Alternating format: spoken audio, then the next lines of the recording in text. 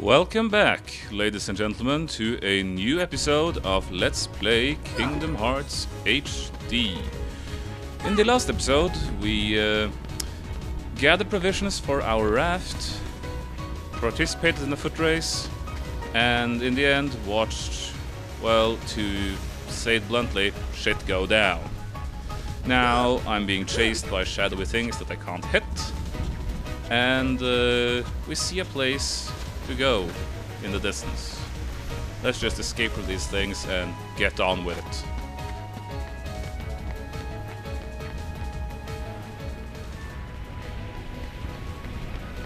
Where's Kairi? I thought she was with you. The door is open. What? The door is open, Sora. Now we can go to the outside world. What are you talking about? We gotta find Kairi. Kairi's coming with us. Once we step through, we might not be able to come back. We may never see our parents again. There's no turning back. But this may be our only chance. We can't let fear stop us. I'm not afraid of the darkness.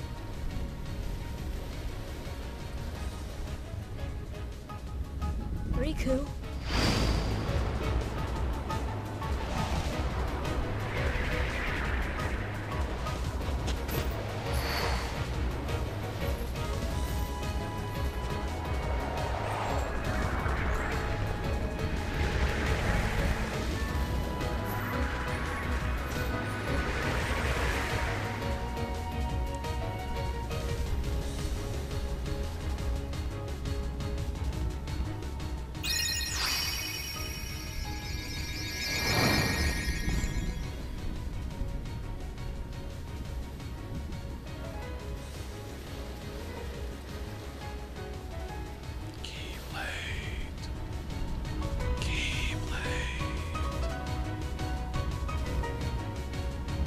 Yes, we now have the Keyblade.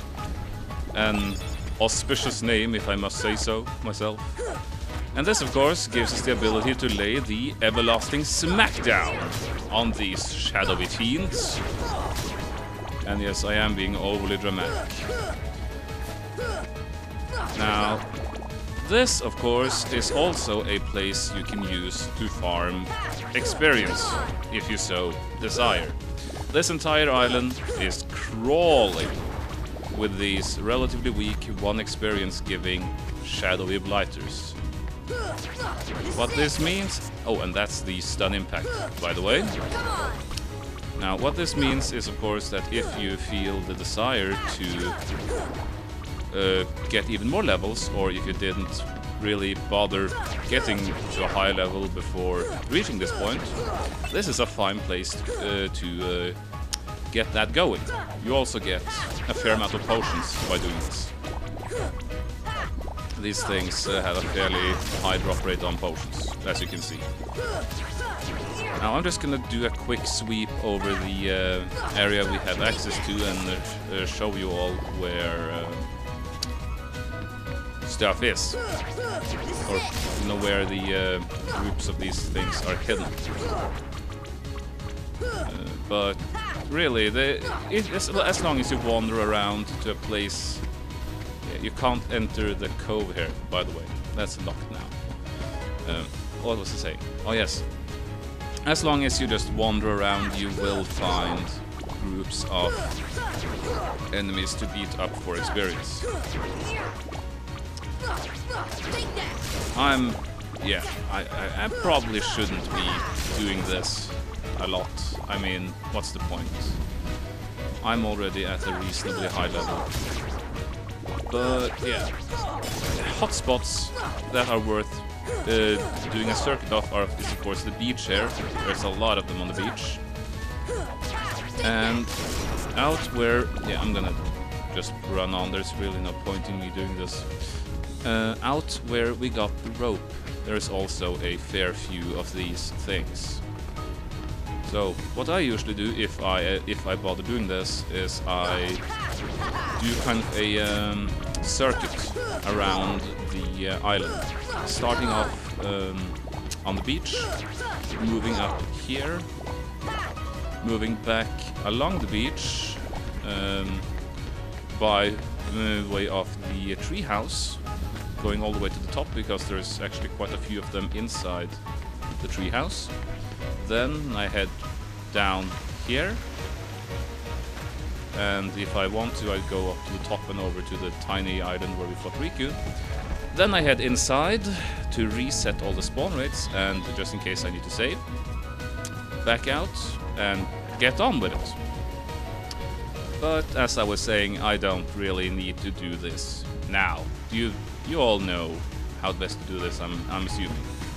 What we shall do is we shall enter this familiar door that appeared out of nowhere.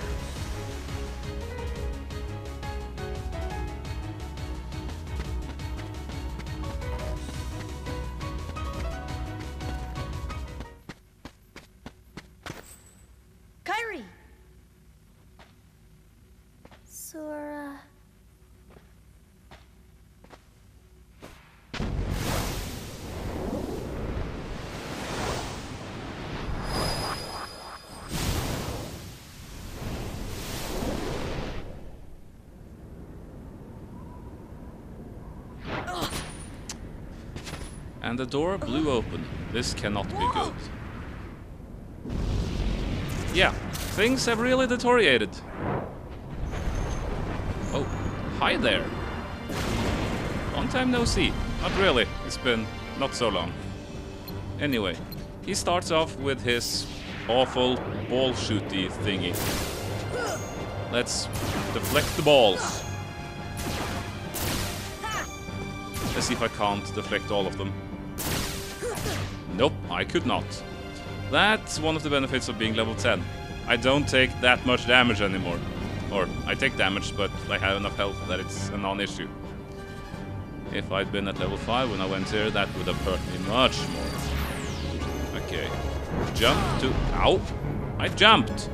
Right into his fist. Anyway, strategy is the same as always. You beat on his head. As hard as you can. And then you take care of the little guys that he falls. Target back onto the big guy. And see him performing a new attack. Which gives me access to his head. And I beat him. While he's dragging an orb of something out of the ground. That would have made it rain dark energy in a slow, random pattern. He's still not dead though, he's just sucked into that big ball of stuff. So am I. Or so is Sora. Anyway, shutting up is a cutscene.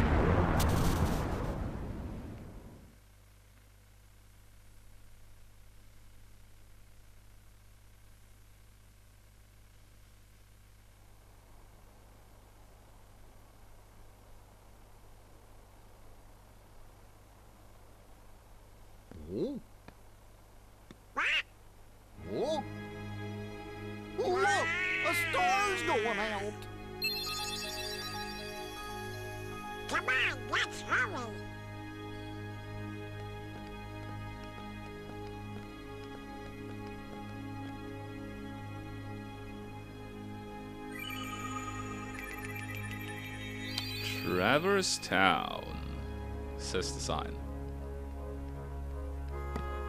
Where's that key? Hey, you know, maybe we ought to go find Leon. Oh, Donald, uh, you know, I bet you that, uh, Ah, what do you know, you big Toyota? what do I know? Hmm. Come on, Pluto!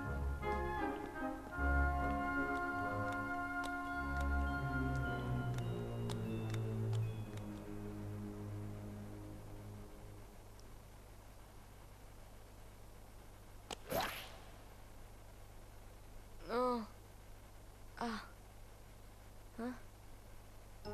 What a dream. Ah! This isn't a dream.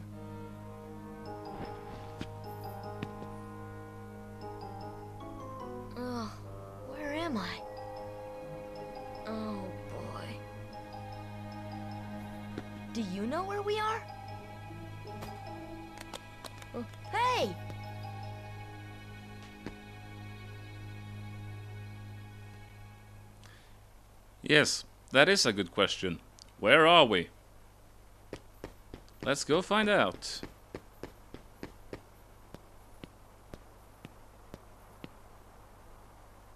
This is totally weird. I'm in another world. Yes, we are now in Traverse Town. A nice place, apparently. Let's just poke around and see what's going on. I don't know if you guys heard that, but that was my cell phone telling me it's low on battery again. Yeah, this happened in my Super Mario World Let's Play as well. Anyway, let's see, what do you have to say? Currently closed off. This town has grown as people have lost their home worlds and come here. It's easy to get lost in such a big sprawling place. Be careful. So apparently this is sort of a refugee camp or a crossroads where people who have lost their worlds end up. And Moogle! Yes, Moogle! Seeing all of this town will take some time, Kupo, especially for newcomers. Even if you can't go to certain areas now, you'll be able to go later. Hmm. That's nice. You looking for someone? It's a big town, so check everywhere. I guess as a hint as to what I should do next. Those candles burning over there were specially created by Moogles. Even if you snuff one out, it flickers back to life in no time. You'd probably need magic to put them all out. Magic, huh? Well, I see a chest. It will not open. There must be some secret to opening it. Of course there is. And we have a blue mark on the ground. Huh. This is all gonna be important later on. Let's check out the item shop. Well now. Hello, Huey, Louie, and Dewey? I think their names are. Yeah. I, yeah. Uh, yeah. What, what, what was I saying? Anyway, let's talk. I'm in charge of keeping the shop clean. It's easier than our bedroom. How nice. We're gonna earn enough money here to go on our own adventure. Again, nice. Welcome! Are you looking to buy? Maybe you have something to sell. Uh, let's chat. I don't have any money at present. I handpicked everything on these shelves. We carry only the best. Yes, I should probably mention, you, you all have probably noticed by now, but English is not my native tongue. Um, so you will have to excuse me for if I have a weird accent or if I mispronounce certain words or, you know, just things like that. Accessory shop. Let's visit here.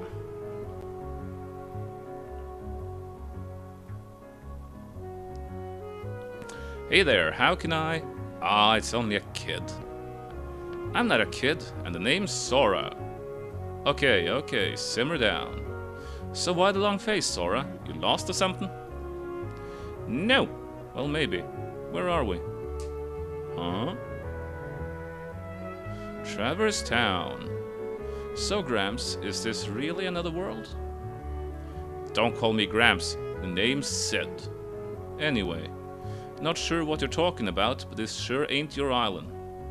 Hmm, guess I'd better start looking for Riku and Kairi. Well, good luck with whatever it is you're doing. If you ever run into trouble, you come to me. I'll look out for you. Nice, nice, Cid. This is, of course, Cid from Final Fantasy VII, the foul-mouthed... Uh, well, he's an engineer slash uh, space pilot, uh, astronaut wannabe. That's the word. Anyway, what do you need? I'm here to shop. Let's chat. If you can't find the bodies, I'll take care of you. Yeah. I don't have any money, so I can't shop at present. Anywho. Yeah, I'm not gonna save yet. Oh, wait. I saw something out of the corner of my eye that I always forget about. Or, what am I saying? Always. I've only ever actually completed this game, what, four times, I think. and most of them were ve a very long time ago, so I don't even remember most of it. Obtained Mithril Shard. Let's enter the first district and really get to looking about. So yes, uh, I suppose I suppose I should have said earlier. That, you know, this is not a blind let's play, but then again, you all know, you know this. It's obvious. It's a it's another one of my childhood nostalgia games. Um, but I would still appreciate if, in practice, for when I get ahead to, or get to doing games that I truly don't know, please no spoilers in the comments. Looks like it's locked. Okay, can't open it. Yeah. Okay, let's just get a move on. The, it, it, there isn't anything here in the first district as of yet. To the second district. So yes, I am planning on doing blind games eventually. I just really wanted to... Okay, not talking cutscene.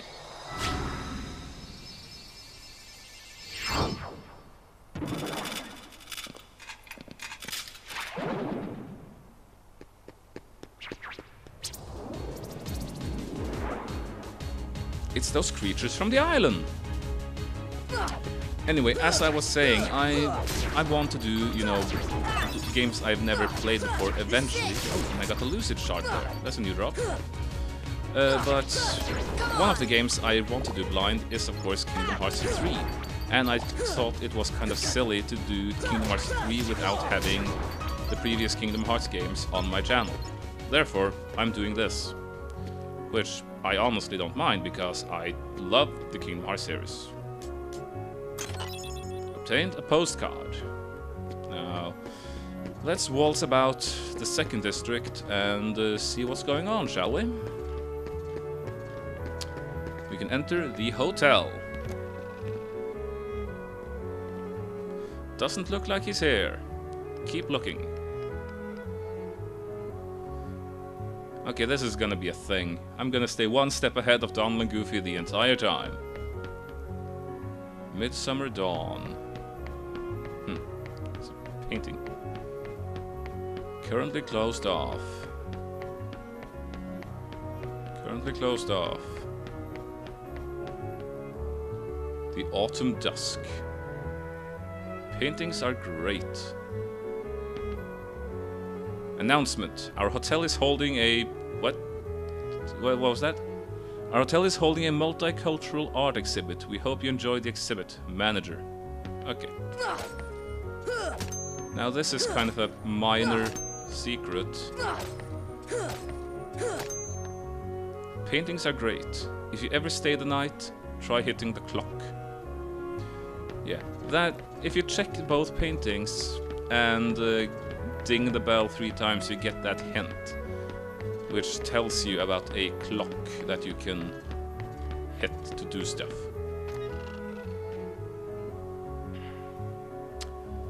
One of those things you find if you really truly explore and just have fun with the game. I should probably talk about things I like about the game, but right now I just, you know, I wanna kill these things, explore, and have a good time. But yeah, oh, no, I'm not gonna fall down.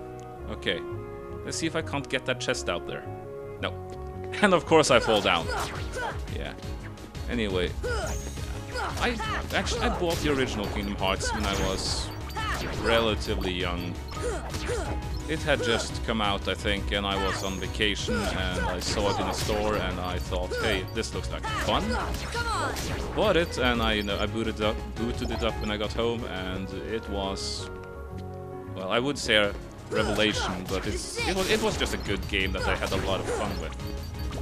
So when I, you know, decided to get into Let's Playing, figuring out that okay, I wanted to do Kingdom Hearts 3 then deciding, okay, I'm gonna, you know, do a childhood nostalgia piece on this thing and just play through it. Now, why did I fall down again? Well, anyway, it was pretty much a no-brainer.